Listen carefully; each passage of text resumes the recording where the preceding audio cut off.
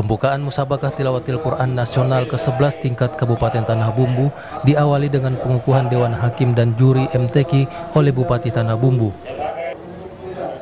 Para Dewan Hakim dan Juri ini akan melakukan penilaian pada 10 cabang lomba yang dipertandingkan, di antaranya cabang tilawah, hifzil Quran, fahmil Quran, syarhil Quran, maupun khatil Quran yang terbagi dalam tiga golongan, yakni tingkat anak-anak, remaja, maupun dewasa.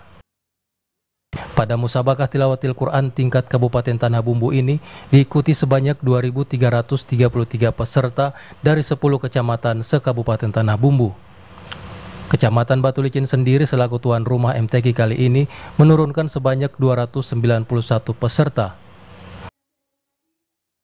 Kabupaten Tanah Bumbu yang terdiri dari 10 kecamatan antara lain satu Kecamatan Batu Licin selaku tuan rumah Ketua Lembaga Pengembangan Tilawatil Quran LPTQ Tanah Bumbu menyampaikan, LPTQ Tanah Bumbu terus berupaya untuk meningkatkan kemampuan para kori koriah di daerah ini. Hal ini dilakukan untuk melahirkan para bibit baru yang akan mewakili Tanah Bumbu pada ajang MTQ, baik di tingkat provinsi hingga tingkat nasional. Sebelumnya telah dilaksanakan MTQ tingkat kecamatan yang bertujuan selain untuk menyampaikan pesan-pesan Al-Quran kepada masyarakat, juga untuk menyaring bibit baru pada MTQ tingkat kabupaten.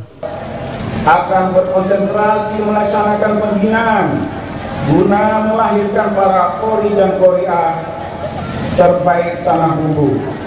Pembinaan yang dilaksanakan adalah pembinaan di bidang tilawat Al-Quran, hifzil Quran, syahwil Quran, fahmil Quran, dan hafil Quran, serta pembinaan terhadap LPTI di tingkat kecamatan.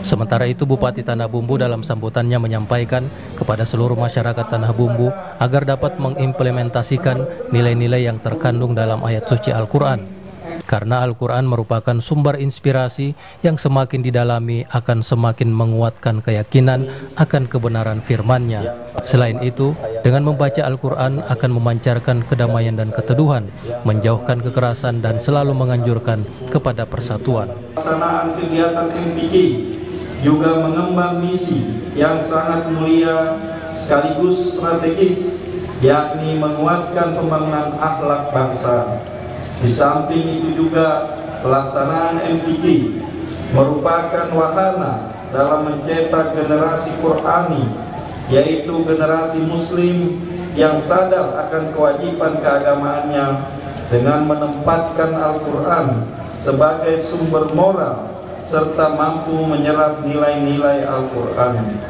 Sembari mengucapkan Bismillahirrahmanirrahim Musabaka Tilawatil Quran MTG Nasional ke-11 tingkat Kabupaten Tanah Bumbu di Kecamatan Batu Licin Senin 17 Maret 2014 dengan ini secara resmi saya nyatakan dibuka.